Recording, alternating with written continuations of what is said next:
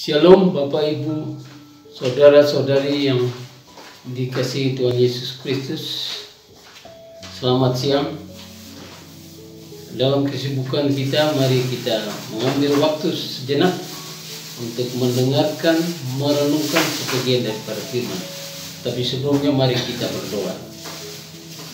Bapa di sorga, Bapa di dalam nama Tuhan Yesus, Juru selamat kami yang hidup sumber kekuatan pertolongan kami. Kami mengucap syukur karena di malam hari kami beristirahat, di pagi hari kami bangun dengan tubuh yang sehat, juga diberikan kekuatan semangat, damai, sukacita, hikmat untuk melakukan menyelesaikan aktivitas kami hingga saat ini. Kami rindu mendengarkan, merenungkan sebagian daripada firman Tuhan.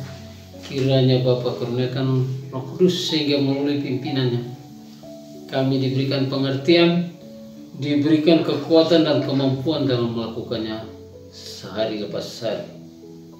Dalam nama Tuhan Yesus firman yang hidup, kami menyerahkan pembacaan firman ini kepada Bapa di sorga. Haleluya.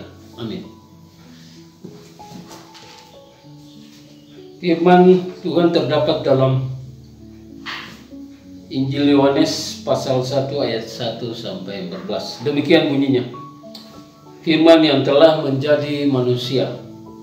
Pada mulanya adalah firman. Firman itu bersama-sama dengan Allah. Dan firman itu adalah Allah. ya pada mulanya bersama-sama dengan Allah. Segala sesuatu dijadikannya. Dijadikan oleh dia. Dan tanpa dia tidak ada sesuatu pun yang telah jadi dari segala yang telah dijadikan. Dalam dia ada hidup, dan hidup itu adalah terang manusia. Terang itu bercahaya di dalam kegelapan, dan kegelapan itu tidak menguasainya. Datanglah seorang yang diutus Allah, namanya Yohanes. Ia datang sebagai saksi untuk memberi kesaksian tentang terang itu, supaya oleh dia semua orang menjadi percaya ia bukan terang itu, tapi ia harus memberi kesaksian tentang terang itu.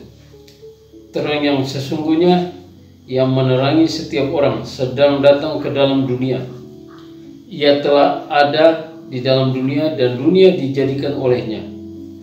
Tetapi dunia tidak mengenalnya.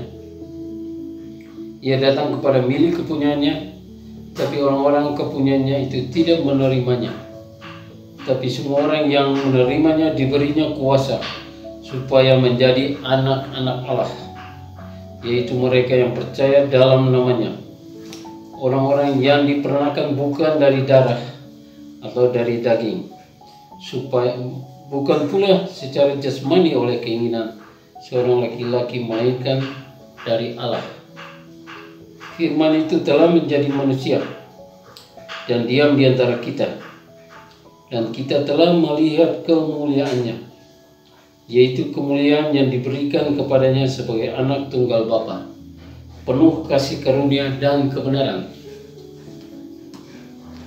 Renungan firman ini diberi judul diberi tema desaklah terus. Hendaklah perkataan Kristus diam dengan segala kekayaannya di antara kamu. Kolose 3 ayat 16 segala sesuatu di dunia yang tua ini tidak menjadi semakin baik. Dan belakangan ini Roh Kudus telah mengucapkan sebuah pesan di hati saya. Dia telah berkata, desaklah terus, jalinlah hubungan yang akrab dengan Bapa Surgawi Anda. Jika tidak, engkau takkan berhasil.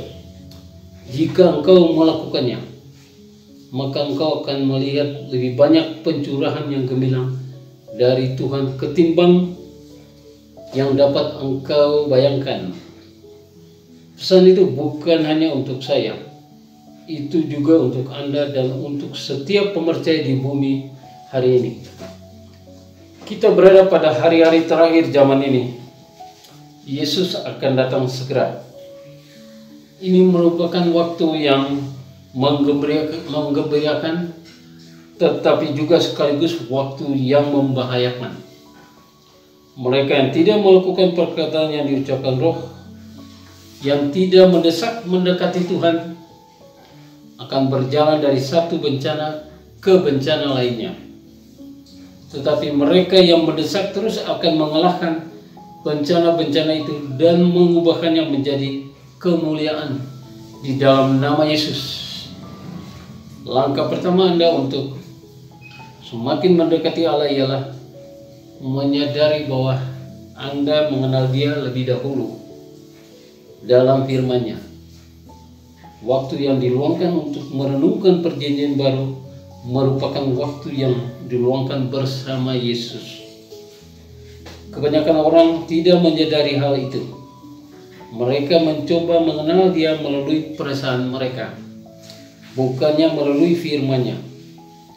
Membiarkan firman menguasai pemikiran Anda berarti mengizinkan Roh Kudus mengendalikan pikiran Anda. Pada saat Anda melakukannya, perasaan Anda pada akhirnya setuju. Ingatlah ini, Yohanes 1 memberitahu kita bahwa Yesus adalah firman.